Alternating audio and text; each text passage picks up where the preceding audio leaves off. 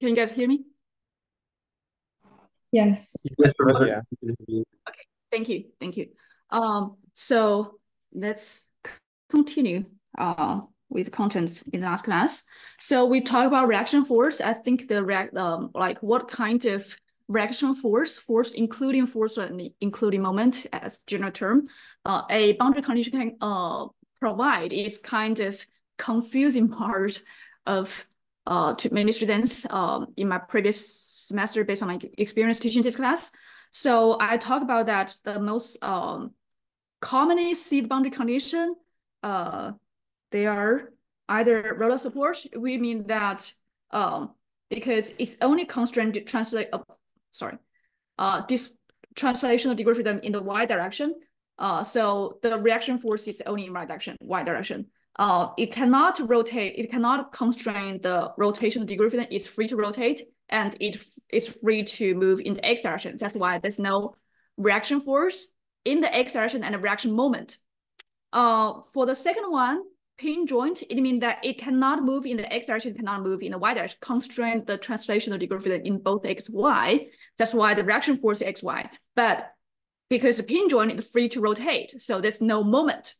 And the third one is uh, is a clamped situation. So at this point, it cannot move in the x direction, y direction.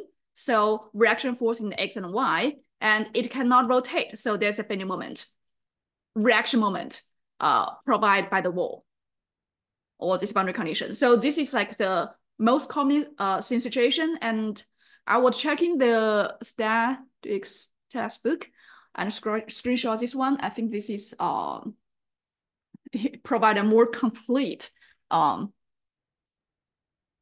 idea of like what kind of reaction force uh, for each different boundary condition. So uh, same at boundary condition, uh, roller support as I said here. So no matter what direction your uh, structure is, it doesn't matter. Uh, as long as it's roller support, it means that uh, it's free to move in x direction, then the reaction force is only in the y direction. And they gave a uh, example here in real situation. So you can make connection of everything we learned in this class or in your previous class with something happening in real life. So you can understand things much better. And then this is um, the either a cable or short link. So in this situation, it depends on the direction of the cable or the link itself. So of course, if it's a cable, it means that it can only provide reaction force in this direction, right? Uh, but if it's short link, it's either the short link can either have tensile force or compressive force. So it the reaction force itself can either be in this direction, sorry, this direction, or this direction. Uh, so this is the uh the second situation and of course, in the real life, you may see something like this. And the reaction force, again, only in the actual direction of the link itself. The third one is, uh, uh, of course, we imagine that there's, there's, there's no friction in this direction. So it means it's free to move in this act in this actual direction. So in this situation, again, uh, the reaction force is only perpendicular either this rod or this slot here. It does not depend on the your structure itself, directional structure itself, doesn't matter. The structure can be in any direction, but reaction force is only perpendicular to either this rod, supporting rod, or this slot. Um, a fourth situation is similar as the pin joint, as I mentioned here. So it's basically, it's free to rotate. Uh, so in for this situation, um, it means that either in we put as x and y or depend on the magnitude of x or y, if this one, these two are equivalent, right? Either you resolve in the xy direction or put in one direction and one magnitude is equivalent. So it means uh, prevent translation degree freedom in the x and y, uh, free to rotate. And the last one, fixed support, is same as what I said here, the cantilever beam situation. So basically, um, if you have a structure like this, it means that it cannot rotate at this point. Um, so force in X, force in Y, and a moment. So this is uh you normally see in a um cantilever bridge. Uh, it's clamped on one end and free on the other end. And this is normally what you see a pin joint in real life situation. So any question about the uh, boundary condition and the reaction force provided by the boundary condition?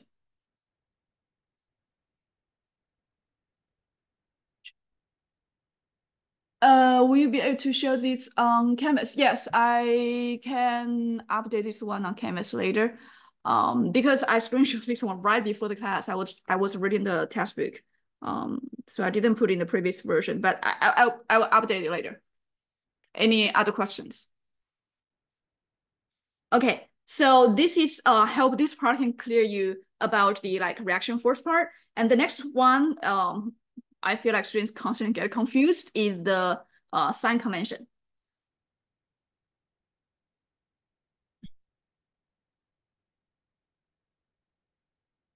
So it's like, I know what kind of force you can provide, but when you do the free body diagram, what direction, what is considered positive, negative, what direction should I put there um, uh, for the reaction force? Um, this in the free body diagram.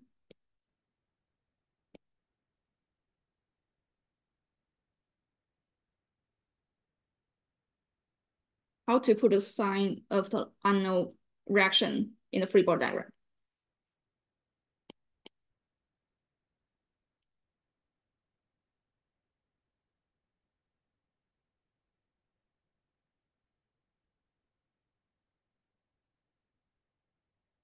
So the first one, the easiest one, of course, if you just see the structure, you see the externally applied force, you can kind of feel what direction the force is.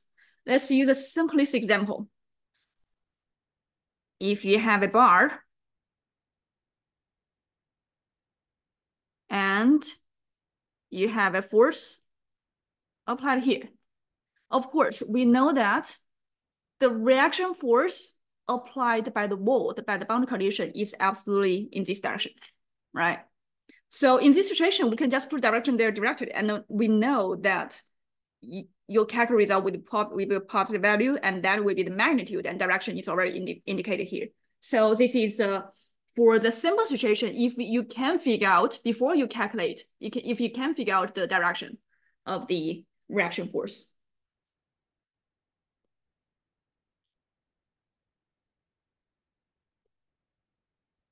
It, you assume the direction by inspection.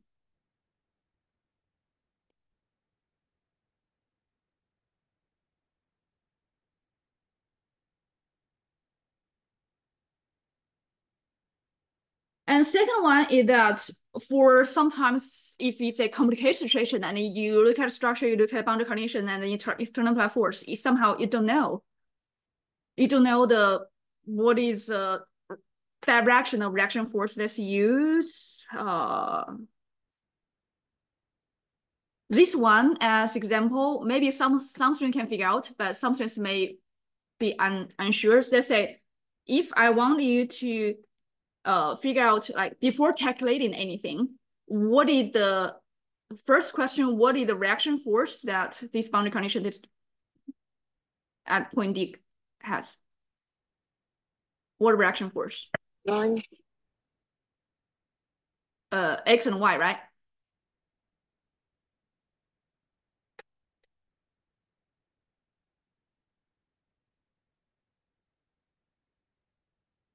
Rx RY. Am I correct? This, there should be no moment because it's pin joint, as I said. And for the direction of in a reaction force in the x direction and in the y direction, I really don't know. By checking the boundary condition, by checking the structure, by checking the uh, external applied force. So in this situation, I just simply put everything in the positive direction. In the positive direction. Uh, so this should also work. So these are two ways.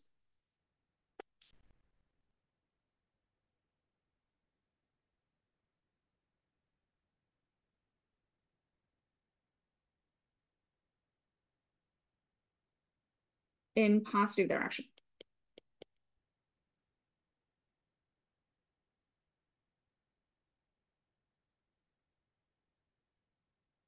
So if it's a pin joint, as I said, the reaction force provided by the um, pin joint, uh, it follow the direction positive means it follow coordinates. So if it's positive x direction, is positive.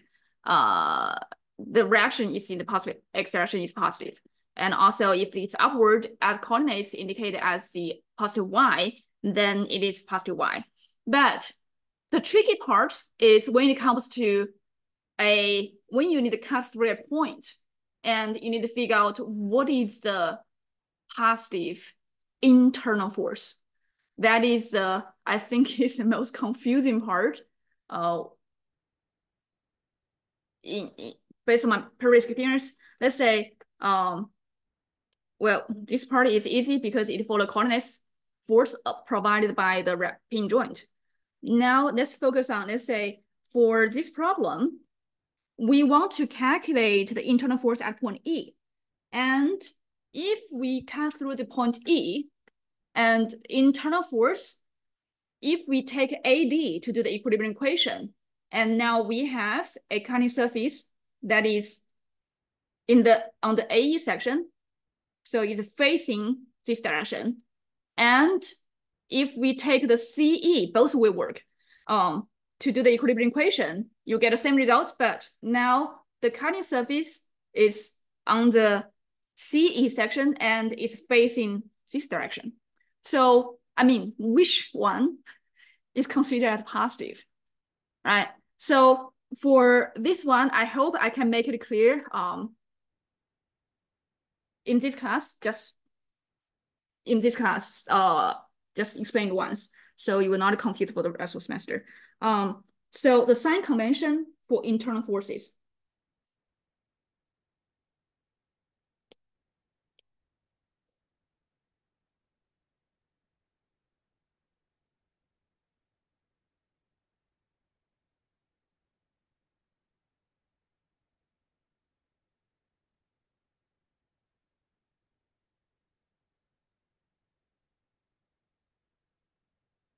Um, most of the time, if the coordinates is not given, we consider left, right, positive, x, upward, y. Uh, but of course, sometimes when we want to simplify, uh, simplify calculation, if it's inclined bar or something, we may have used the actual direction as local x. So that's a different situation. But in general, most situation, if it's not x coordinates not indicated, this is the coordinates. So now let's start from simple situation, tension.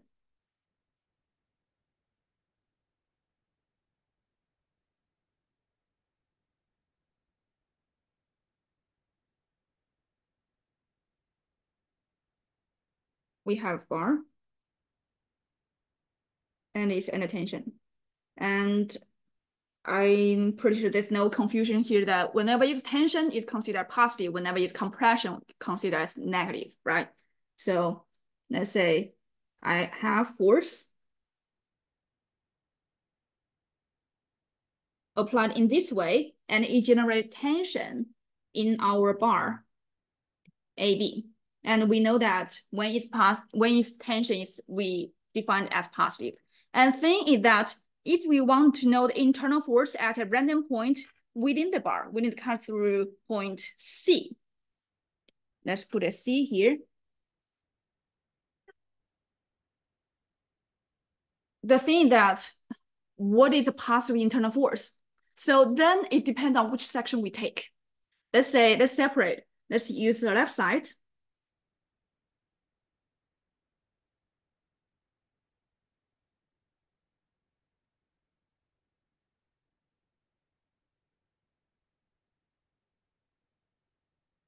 Switch different color. Then this red one is a cutting surface when we take the AC section.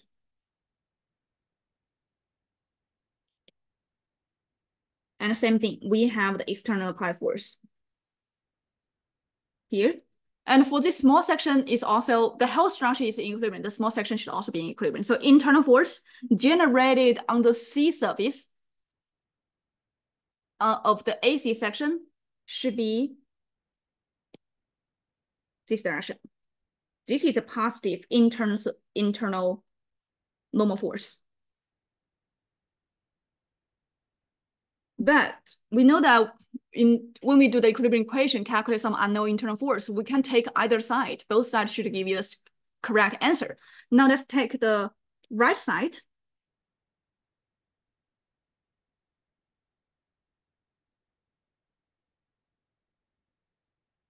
And now the cutting surface, I use a different color.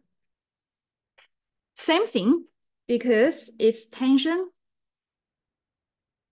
here. Now on this CB section, this is the positive internal force direction.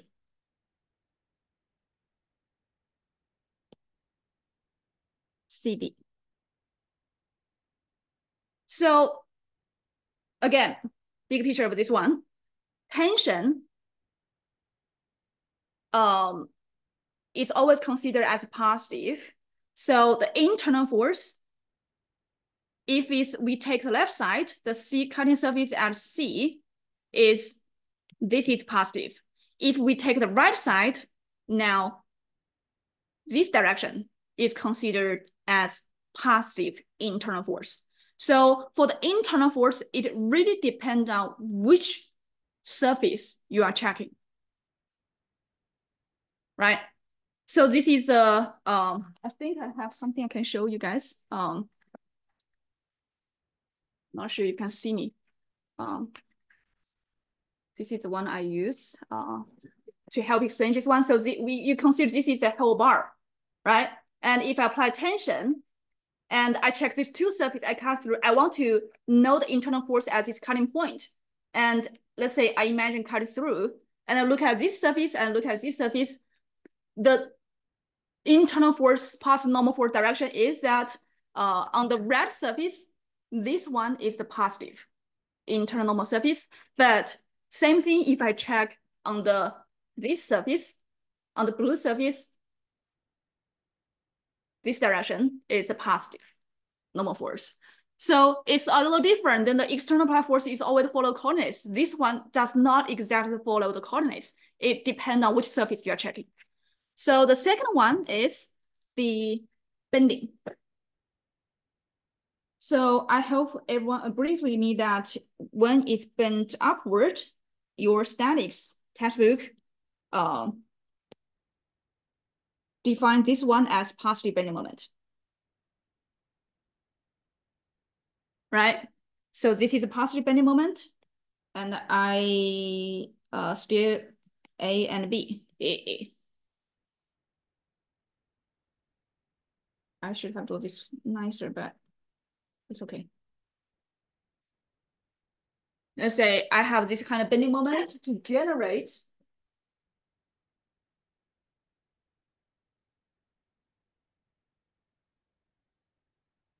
this is positive bending moment, and this is the negative bending moment based on our coordinates. You guys should agree with that, right? Bending upward positive bending moment.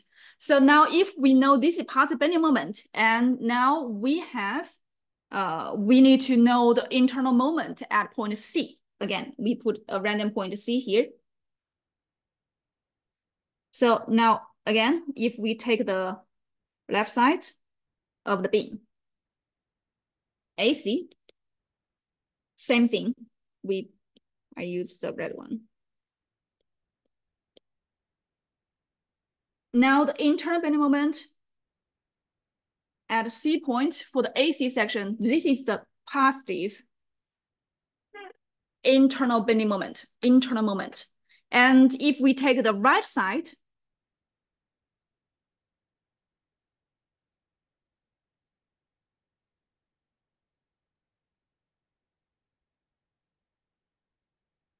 Let's use a different color.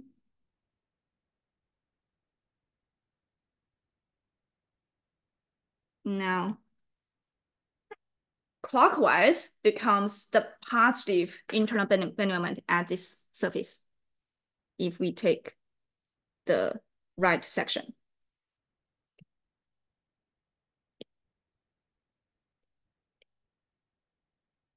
So again, when we talk about the in uh the sign for the internal moment, it's not about like positive, it's always counterclockwise and uh, clockwise it's always negative. That is only for externally applied force or reaction force is also considered one of the external applied force. For the internal force, again, it depends on the um the surface, the specific surface you are checking. And again, let's use this one. Same thing, red and blue part. And if you bend upward, it becomes the uh, positive bending moment. It is defined as positive bending moment in your statics um, textbook. So now if only check the left side to generate same deformation, we know that I need to have a bending moment at C point that is in this direction. What, right, in this direction. And now if we check the right side to generate the same deformation, and for this, this surface, the positive bending moment now becomes this direction. That's why you see thing here. So you cannot say in the future like, oh, the counterclockwise is always positive, the clockwise is always negative. No, for the internal force, depend on which surface. So the third one is the shear.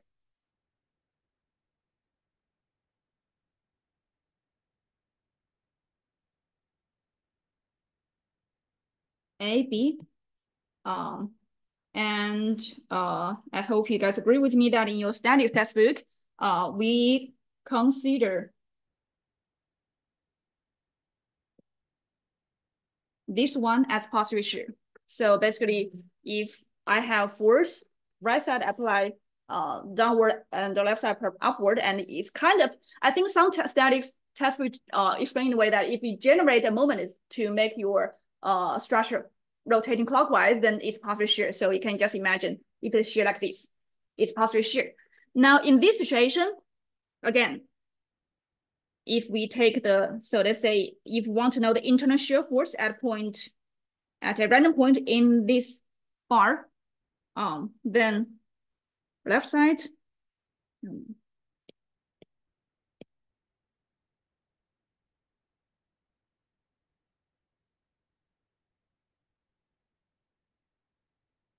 On this surface, the positive shear means I should draw it upward, downward, positive shear force on this surface.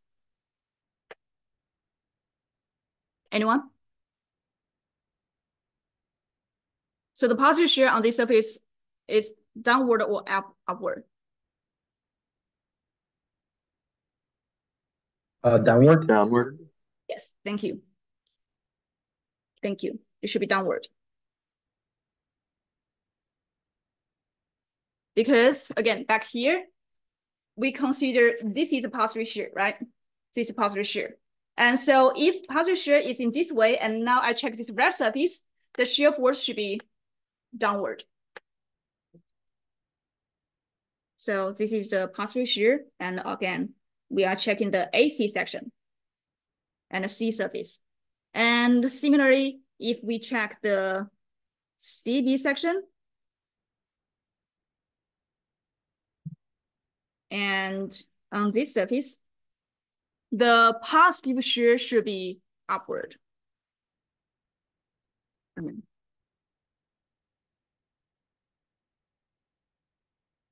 So I think it's easy plain to use this one. So again, this is positive shear. And now I check the uh the blue surface, the right section. And if we have shear like this, of course, the shear force generated on this blue surface is upward, right?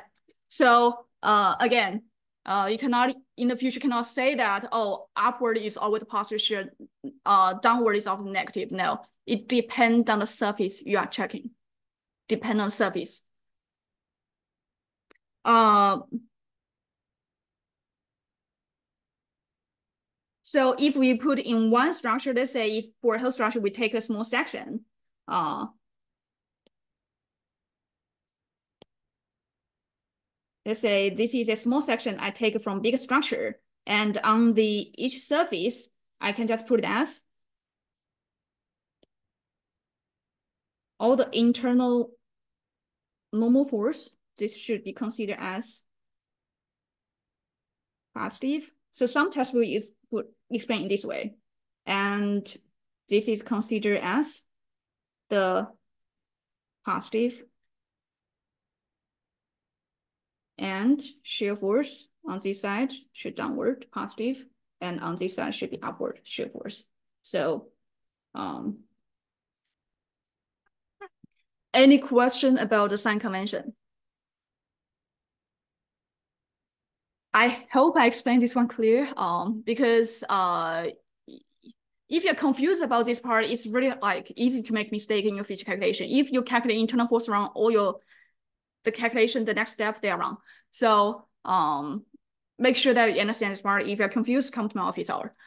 Um, oh, by the way, uh, I, I need to, so my office hour is already scheduled at 1.45 because I need to go to the lab this afternoon. Uh, I'm at home now. Uh, I need to drive to school. So I probably will start the office hour at 2.10. Um, well, I will be a little late, but I, I still stay in the office hour for one hour. Um, now, once we are clear about reaction force, what kind of force the boundary condition can supply, and also the, the sign convention for external apply force, the internal force, the next one is write the equilibrium equation. And equilibrium equation part should be easy. Um,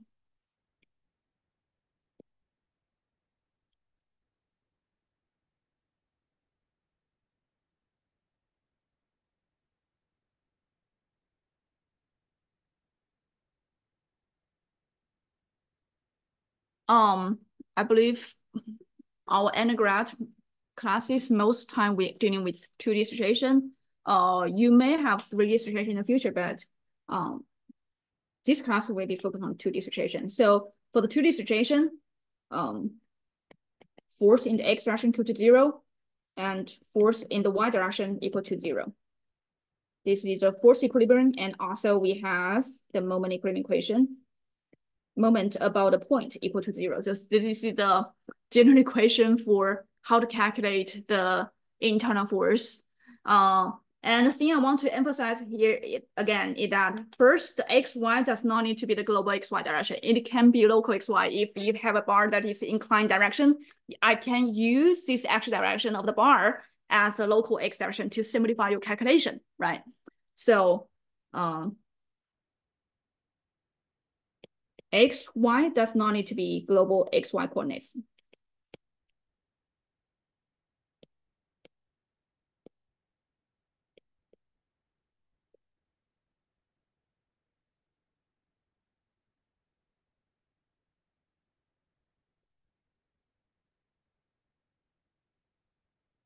in global XY.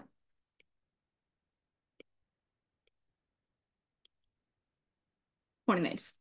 And also the point, uh, moment about point equal zero, the moment about the point is really uh, not, not fixed at specific point. It's really any point will work. It just at when you choose at some point the calculation is more complicated. And when you choose some rest point, then you may simplify calculation. So it really depends on um like how do you want to calculate it. So uh try to choose a point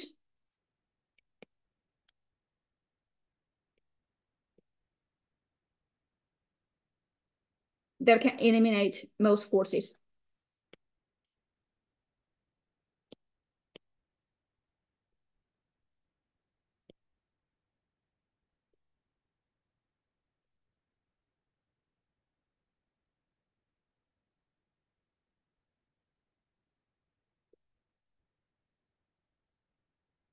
It's just save you a lot of calculation time. But of course, I mean, sometimes if you choose a point that is more complicated than your classmates, it doesn't mean that you calculate the wrong result. In the end, if your method is correct, you still get the same correct answer.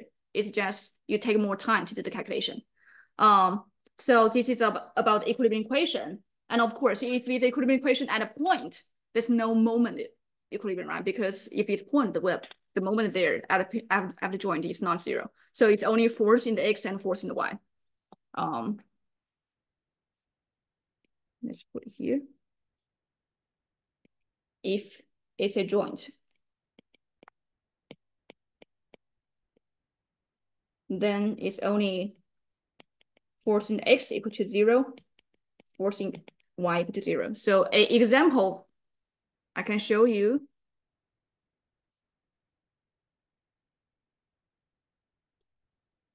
is let's say for this P B point, this this joint, when you write equilibrium equation here, it's only force in the x direction equal to zero, force in the y direction equal to zero, but you cannot write a moment about point B equal to zero. No, it's this point is free to rotate. It's only force equilibrium. Um, so now these are all the conceptual part of uh start from the free body diagram um, and some details about the reaction forces, including what kind of reaction forces supply it provide, uh, can provide, and what the direction, uh, sign convention for uh, reaction force, external force, and internal force, and how to write the equilibrium equation for uh, a general situation and a joint for 2D situation. So I consider these are the conceptual part of what we need to know before we start the example problem. Any question here?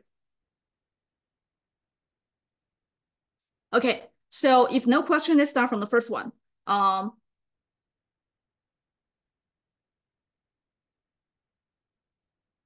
calculate internal force at point C.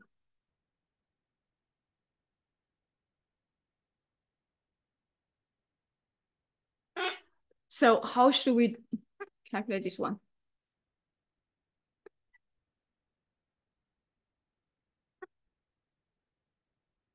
Anyone? Like big step. Uh, what the first step? What the second step? Take the, you want to solve all the external forces first. Yeah. So the internal force at point C. So, uh, sorry, what did you say? I would start by solving all the external forces, so we can like simplify everything acting on it. Yeah. So like equivalent uh concentrated force for this one, right? Is that what you mean? For this distributed force.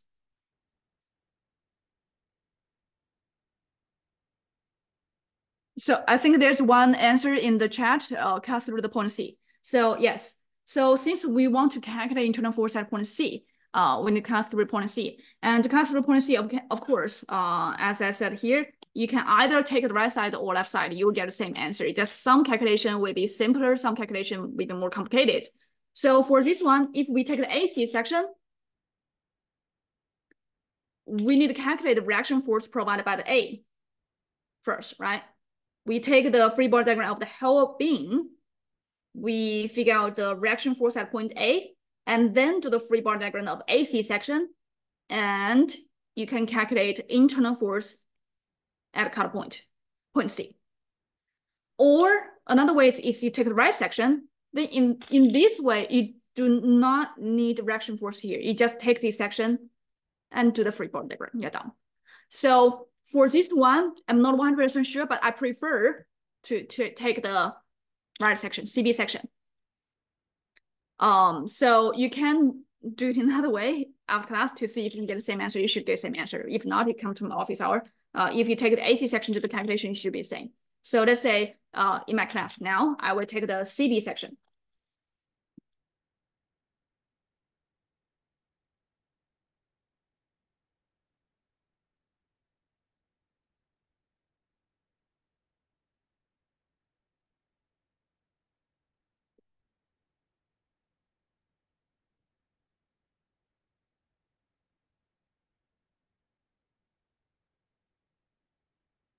What kind of internal force at C section, at, at, at C surface, on C surface? A moment. Moment. Moment, force in X, force in Y, right?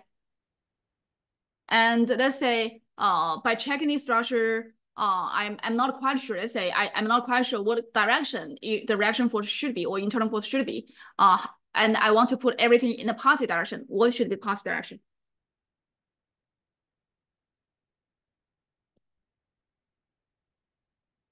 This should be positive uh, normal surface, right?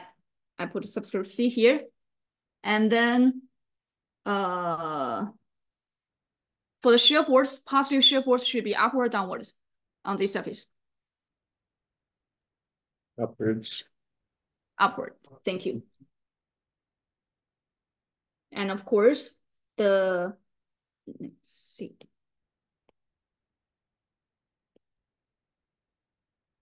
The positive internal bending moment should be this direction.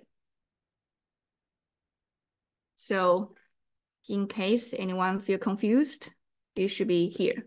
These are considered as positive internal force um, on the C surface if we take the CB section. Similar situation here, right? So these are the positive internal force at the cutting surface. Now, um, I, I think something just mentioned that we need to find the equivalent concentrated force for this discrete force uh, before we do the equilibrium equation. So for this one, what is the equivalent concentrated force? And where is applied, the location? Let's talk about magnitude first. What the magnitude of the concentrated force, equivalent concentrated force?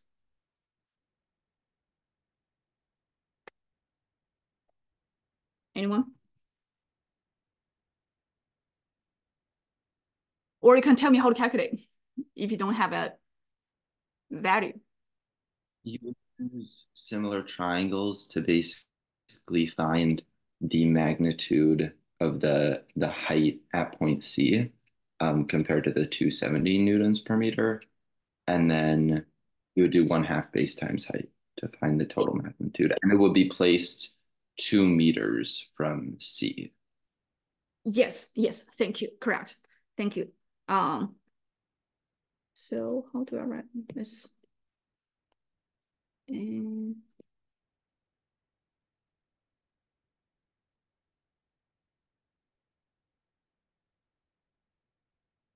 let's uh, assume that this height is x. I don't know what value it is, but as you said, is the symmetry triangles. Then we know that um, let's put it back here. This blue line, the height here is x.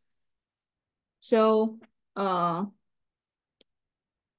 it should be x over uh, 270 equal to 6, 3 plus 6, right? So in this way, we calculate x equal to 180. Newton per meter.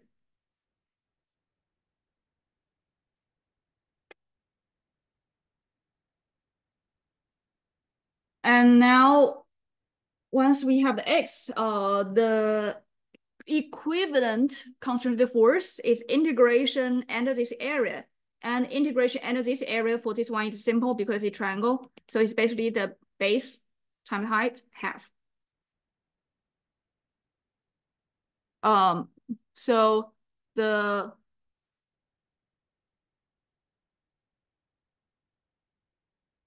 equivalent concentrated force should be equal to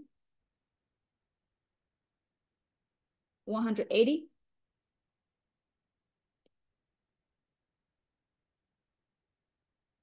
for the unit here, Newton per meter times and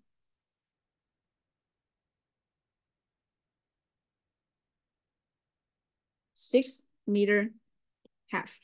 This is the area and the distributed force, which is equal to 540. So now we figure out the magnitude uh, of the equivalent concentrated force. Uh, the location should be at a point that's two meter away from point C. So let's say that we have a D here uh, let's use this one as concentrated force, equivalent concentrated force, and put a D here. The distance of CD should be a third of total length of CB. So this should be two meter. CD equal to two meter. So now we have the magnitude, we have the location, right? Um, so in case in case anyone confused, again, I screenshot shot this one from the um statics textbook. Um, for the distributed force, if you want to find use con uh, equivalent concentrated force in your equilibrium equation, the location is one third of the height. Um, and area is magnitude of the concentrated force, uh, equivalent concentrated force. So this is again from the statics textbook. Um, any question here? So for um, I think the the main part as the uh, answer put in the chat is that you cannot use the 270 here directly. Because if you use 270 here, it's equivalent force of the whole on the whole beam, right? But now since we're only taking CB section, we need to check what is the equivalent force of only this area, not the whole beam. Make sense? Just need to be careful. So these are just like small details students don't make mistake. That's why I use this one as example. Now we can start the um, equilibrium equation calculation. So again, let's put um,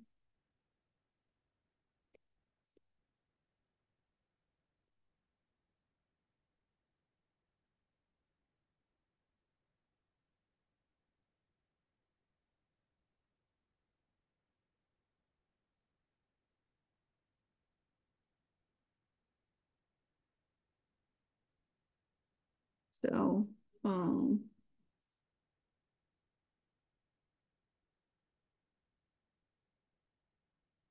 force in x direction.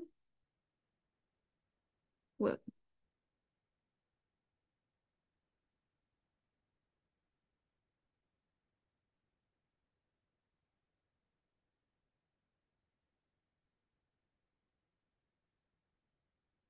equal to zero and it's obvious that the internal force at C surface at C point is equal to zero. There's no external applied force in the x direction, so it's easy to imagine that it should be zero. Uh, force in the y direction equal to zero.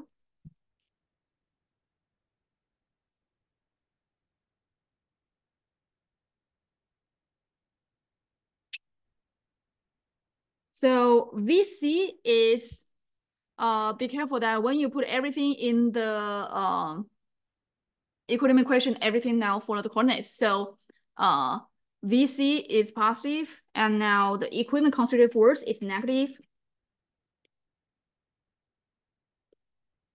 So VC equal to 400, uh, 540. And moment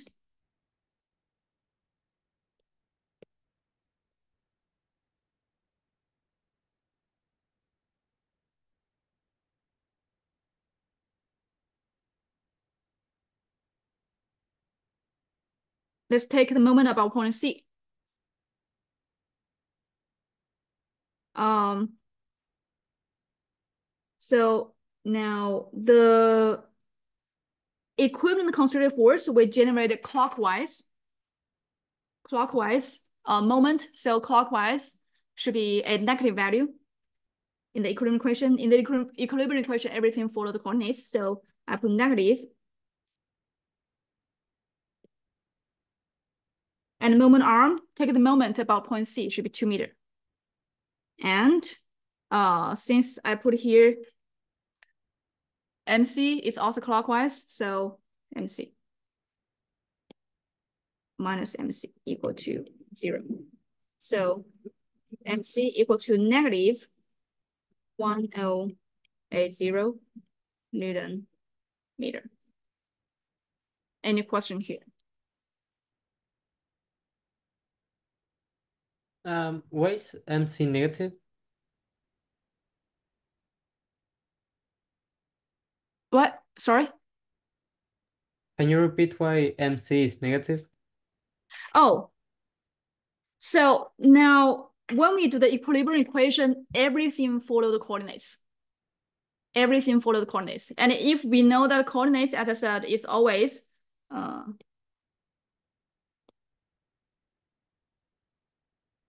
x, y, uh, what's called? Right hand rule. Uh, if we know this is the xy coordinates, this is always based on the coordinates. This is always the positive moment based on coordinates. Am I right? So now in the equation, as I said, everything for the coordinates, this force about point C will generate a clockwise, so it's negative. This MC we put here, again, is based on coordinates, is clockwise. It should be a negative value. That's why we put it negative MC here. Okay, thank you. Sorry? I cannot hear you very well. I'm sorry, I was Uh, just saying thank you. Okay, okay, you're welcome. Um, how should we handle significant uh, figures in the class? So, um, I don't have like strict rule like in some class they require you like three or something. Uh, I would say you can use whatever rules you used previous class, but uh, in my class, I mean, and also in my design class, as long as you don't go crazy like uh 1.24567 that kind of thing, uh, it should be fine. We don't give penalty because uh you're significant digit. Uh, but just make it reasonable. Three or four, that should be fine.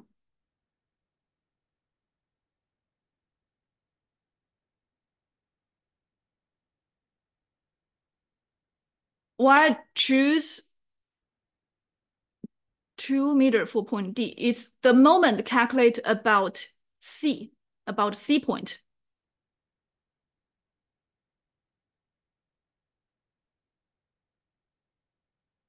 It's the moment about C point. I'm calculating moment about C point equal to zero. So this one equivalent concentrated force, the moment arm is two meter. That's why not six? Um,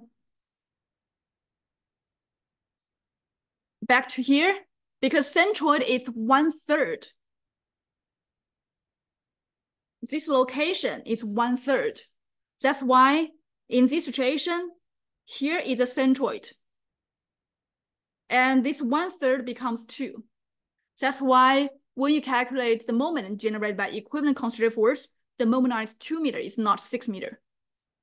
Yeah. Any other question? So uh, one thing I want to help you guys understand here, we calculate negative value. Uh, what does it mean? So basically mean that the calculated value is opposite. The actual moment direction is update of what we put at beginning here. So uh, as I said, we put in this way because we want to put everything in a positive direction. I'll simplify. Um, we cannot figure out what is actual reaction force direction, reaction moment, sorry, uh, internal moment direction. So we put everything in the positive. And if we calculate negative value, it means that the actual moment is in this direction. Make sense? Um, and I think it also makes sense in a way that, let's say, just imagine you have a beam. I clamped on one end, I have the distributive force, and you kind of expect that your beam will exaggerate deformation should be in this way. Right? Should be in this way for this force apply. If I apply force upward, then it should bend in this way. But the force is downward, so you kind of expect that the, beam, the exaggerated deformation should be downward. And now if you know that it's downward, now we take the right side, which back to our uh, previous topics. Let's say for this side, right side CB section, now I check this surface, the bending moment to generate a deformation like this. You kind of imagine that the internal bending moment at point C for the CB section should be in this direction. Make sense? So um, as an engineer, it's not about just calculation. In the end, you need to check if your calculation makes sense or not. So now you get negative value, you originally assume everything in the positive direction. Now you get negative value, it means that the actual moment direction is this direction. And then you based on the structure, based on the external applied force, based on deformation, generate external force, it makes sense that on this side, I need to have a moment in this direction to generate deformation this way. Since MC is negative, you should keep direction. We initially, yes. Yes. So I want to talk about this a little more detail, uh, since normally this causes a lot of uh, confusion. It is okay that, let's say, somehow uh, you originally assume your before your calculation, you origin or you originally figure out that your MC is in this direction. It is okay. And then in your calculation, you will get a positive value. Because let's say if let's let's use different color. Let's say I originally assume it's MC in this direction. That that is fine. It doesn't mean that is wrong. Um, I put sign convention here just to make sure that when you retest it, you don't get confused why they always put in positive way. Uh, but it is okay if you originally assume it's in this direction. And now in your calculation, you know that, okay, now this one doesn't change, still for the point C, still generate a clockwise, right? So it's negative. Now the MC, because we put it as counterclockwise, now this becomes a positive. Now the final value you will get is a positive value. So it means that the actual internal moment direction is the same as what you assumed at the beginning. So in the end, can you see that it's the same? No matter I put in this way or in this way, you will get the same answer. Not, not exactly like same number, but um, it should represent the same direction of the internal force. So some students like they really like I really don't like students like compare the final answer like who is correct who is wrong. Some students calculate positive 1080 uh 1080 and some students calculate negative 1080 and they will need to fight each other like who is correct who is wrong. No. It doesn't mean any students wrong. If your original assume is in this direction, then it should, you should calculate result should be negative. If your original assume in this direction, then your calculate should be a positive, but it both represent a moment with magnitude of this one and with direction in this direction. So both of them are correct. But the thing you need to be careful in your exam is that you need to put it clearly in your solution so TA can figure out what is a positive and negative value means, right? When they see that your previous assuming is in this direction, you should get a negative value. If your previous assuming in this direction, you should get a positive value.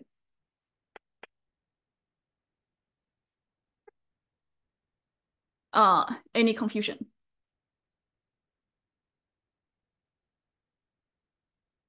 Okay, so now let's move on.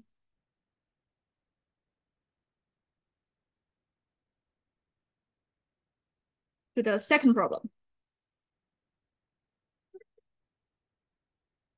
Uh, so um, now this is a uniform distributed force. So the equivalent force is much easier to calculate.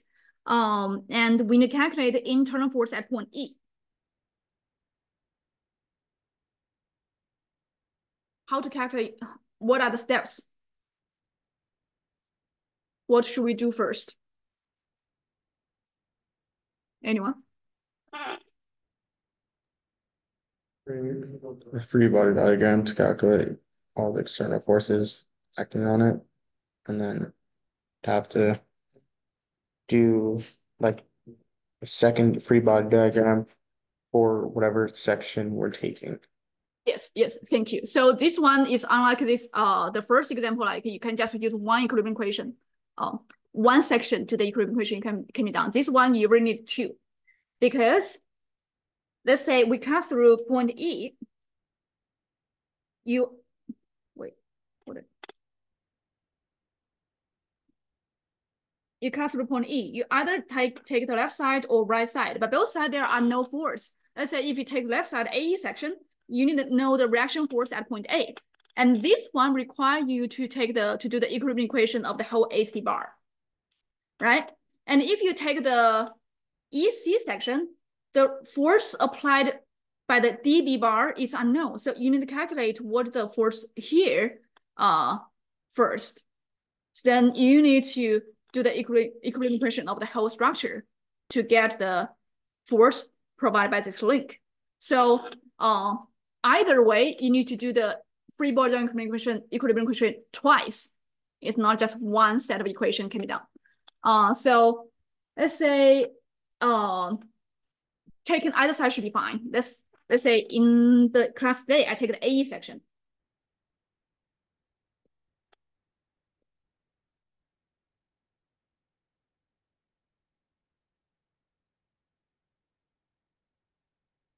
And if we need to take the AE section, as I said, we need to calculate the reaction force at point A. Then for this pin joint, it's only constrain constrain the uh translation degree in x and y. So the reaction force is only x and y. There's no moment.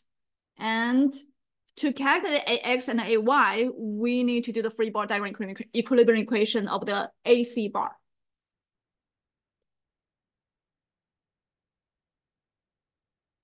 Let's first take the AC bar first. Uh, so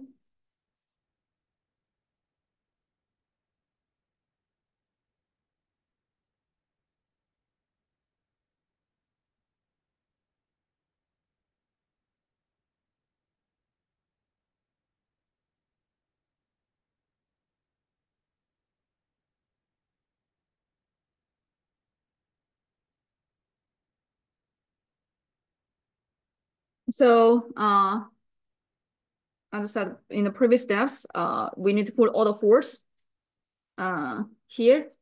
So for the force, we know that we have the AX and AY. And again, I don't want to like to figure out what direction of the the reaction force should be provided by the A. So I just put everything in the positive X and the positive Y direction. So this is, let's assume that this is AX and AY. And the second thing we need to figure out is um, this point E. The equivalent concentrated force for this discrete force. So what is the equivalent equivalent concentrated force? Anybody?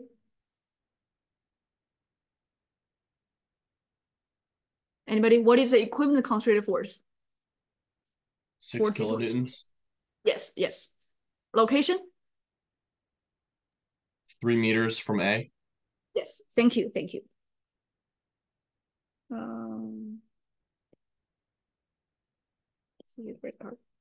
So it should be at the midpoint and the equivalent uh concentrated force should be um one kilonewton per meter times six meter.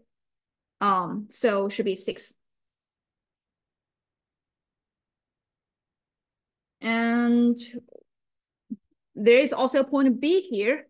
So how should I put the force provided from the B point to the AC bar?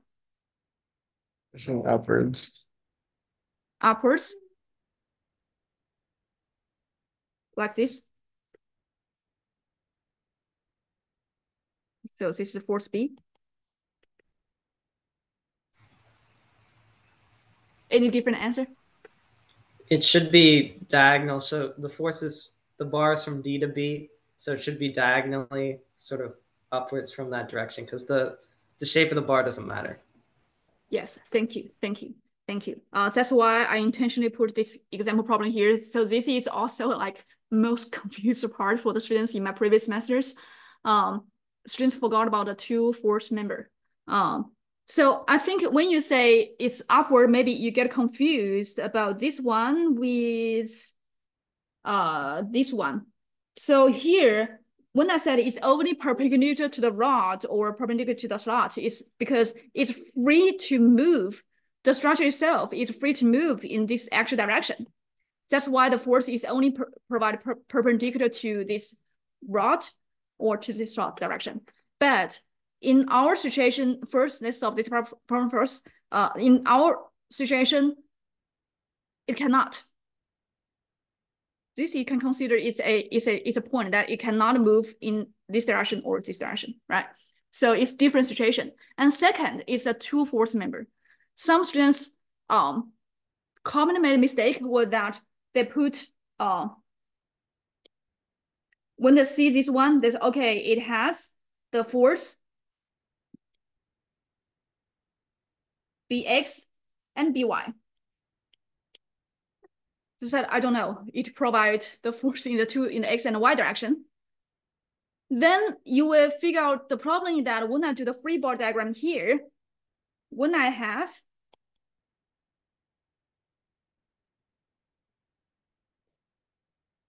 bx and by, you see what the problem?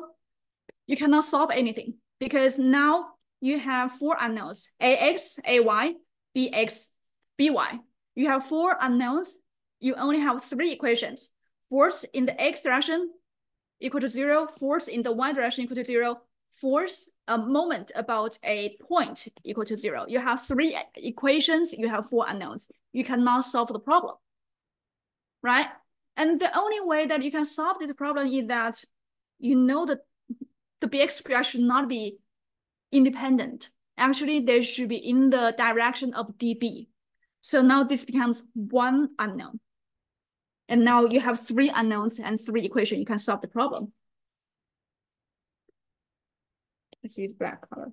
So this should be the force provided by the BD link. And the direction, let's put it this way, um, should be in the ratio. So this should be three, this should be four because here's a three, here's four. The force should be in this direction. Now, if some of you uh, feel confused, again, I screenshot something from the statics textbook. Uh, the two force body, body, it really doesn't matter what shape the body is. It can be in any shape. It can be curved, any general shape. It does not need to be a straight bar. Of course, when you see straight bar, you automatically know that force is in the bar actual direction. But if it's in this direction, it is this shape, still, if you want everything in our mechanics materials class or anything in general in any class is in equilibrium. And if you want to make sure that this part is in equilibrium, it has to be passed through the BD or in this chain AB line. In any other line, it will generate a moment to rotate your structure. Then your structure, this bar, is not in equilibrium. There's only one way to make it in equilibrium. That is force should be in the line of the AB line. Of course, it can be compression, it can be tension, but it has to be in the AB line. And this structure itself can be any shape. Make sense? So there are a lot of content that you need to review in the statics. Um, I want to emphasize again, it's very important because this is the, for the almost all the problem we're gonna solve for this semester, find the internal force, internal moment is always the first step. If you miss the first step, the whole rest part doesn't make any sense. So please, uh, at the beginning of the semester, when you still have some time, read your statics textbook. And if you have any question, come to my office. I'm happy to help you um, with any question you may have. So very important part, the BD direction should be, um, sorry, the force applied at B should be a given information. Now, if we know this one,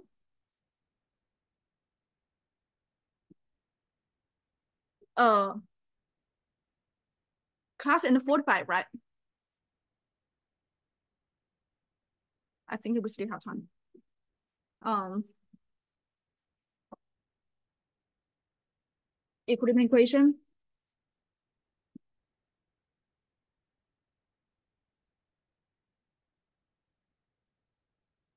Moment about B point equal to zero. So in this way, we can calculate AY because B, FBD and AX pass through the B point, so we can calculate AY easily. So in this equilibrium equation, uh, the force will generate a, oh no,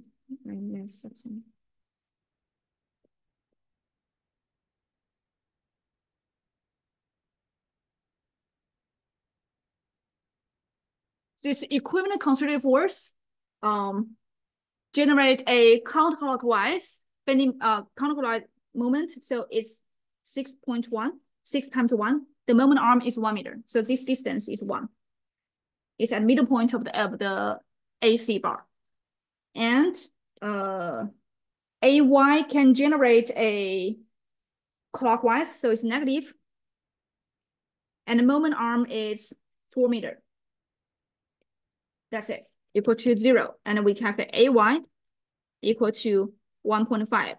And this positive value means, again, the actual reaction force in the y direction at point A is the same as what we assumed at the beginning, since it's uh, we originally assumed upward and get positive value, it means that the actual reaction force is upward. And which makes sense because now you see that the external apply force downward, you kind of expect that reaction force is upward to balance. Now let's calculate the force in the y direction equal to zero. Now we have the AY, which is 1.5. Uh, don't know what's happening. And we have uh, 6 kilonewton downward. And we have the FBD, uh, the Y component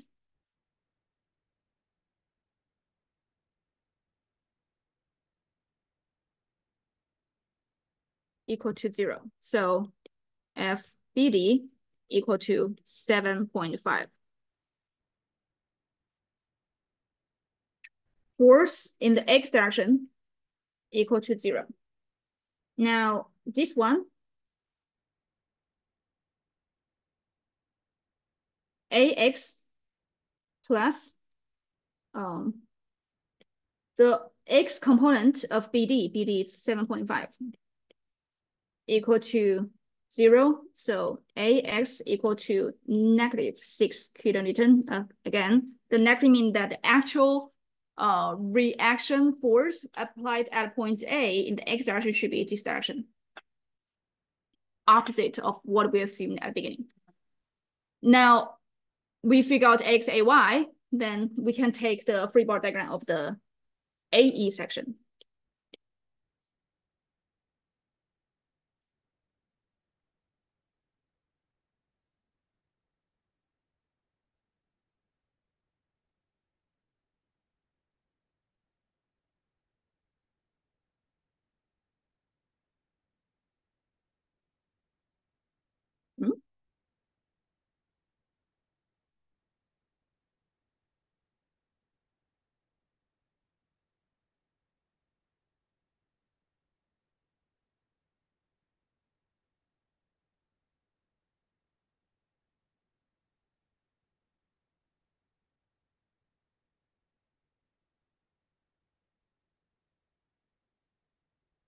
So I put the AX.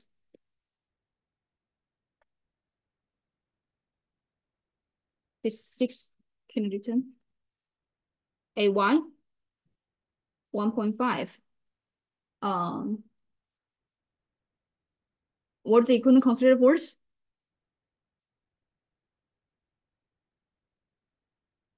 What is the equivalent concentrated force for the distributed force mm -hmm. here?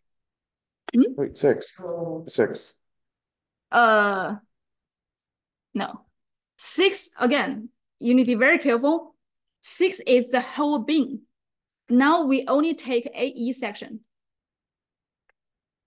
Right? It's the same as what I said here. Some students put it in the uh said it's like 270 times uh this length.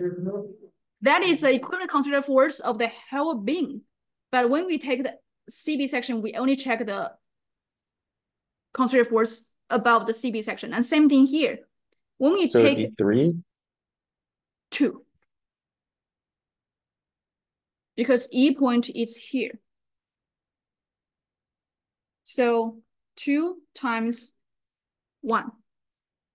Make sense? This dimension is two. So length here is two.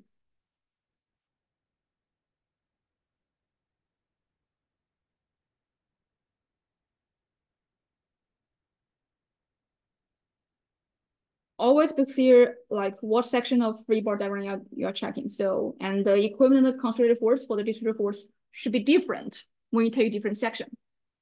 And on this cutting surface, again, check reaction notes. Uh, I will do it very quickly. So this should be the positive,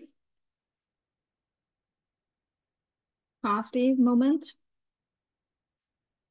and on this cutting surface, the positive shear force is downward.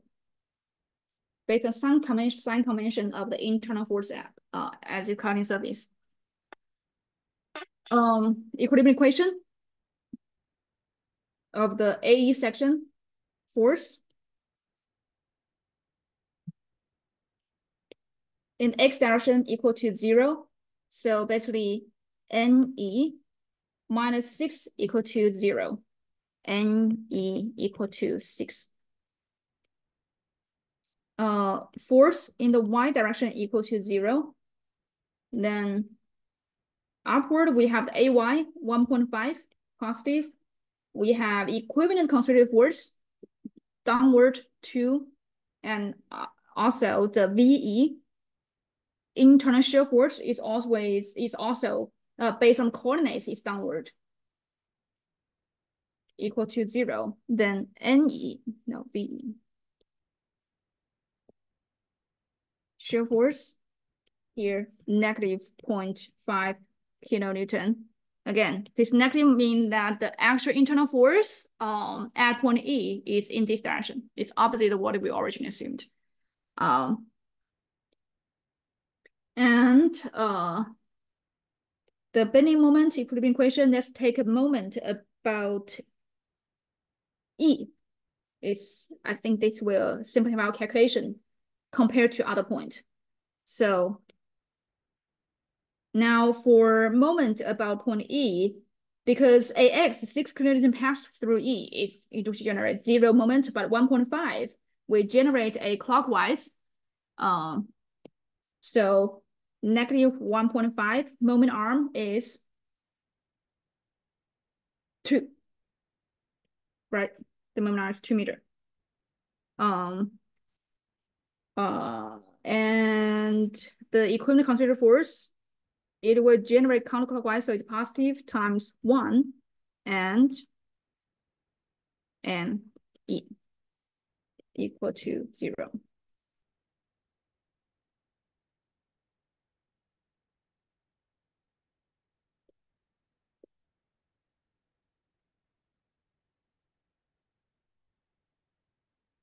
Any question?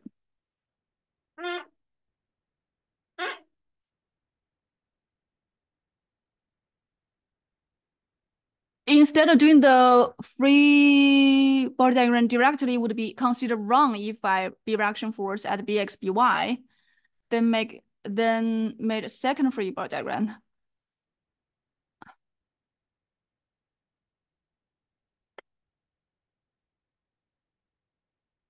To find those unknown forces. You won't you won't be able to solve the problem if you don't consider BD as two force member.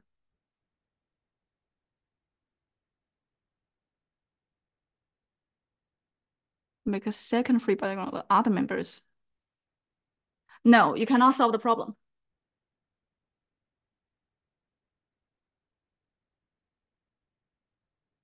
The key thing of this one is that you need to realize this one is two force member and you need to realize the force at D direction should be in the line of BD and the force at the B direction should be in the line of BD. Either tensile compressed, it doesn't matter, but it should be in the in this line. If you cannot figure out this, this is two force member, you cannot solve the problem. I, as I explained in the beginning, you have four unknowns, you have three equations. Any other question?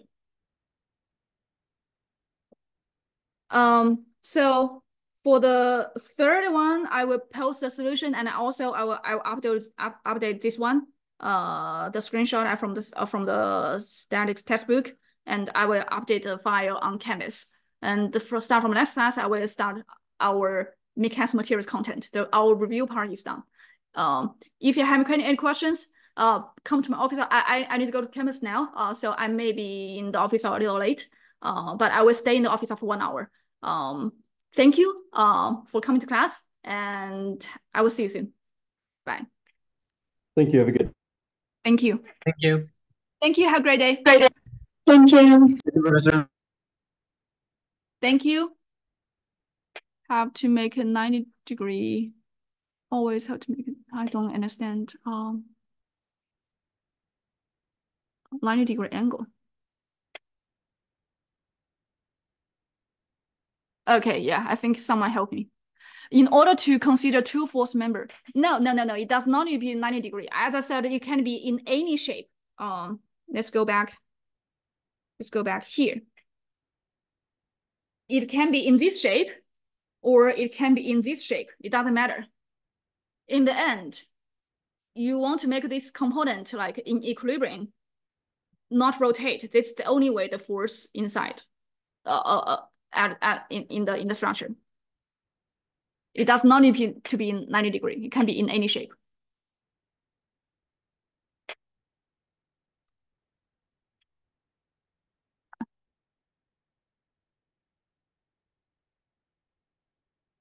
Uh,